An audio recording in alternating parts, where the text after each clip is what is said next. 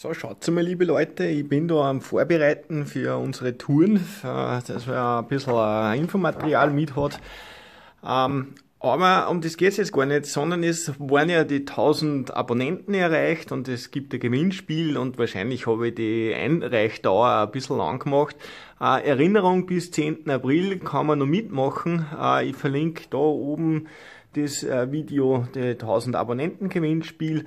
Äh, gehen du jetzt darum, dass man, wenn man so ein Sackerl gewinnen mag, drei gibt's, die hat meine Frau selber gemacht, mit, mit, das haben wir mal ausdrucken lassen und, und, äh, made with love, was sicher stimmt.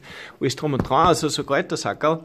Also wer noch mitmachen mag, äh, E-Mail, E-Mail-Adresse checken auf der Homepage im Impressum oder ihr könnt auch über das Kontaktformular schreiben.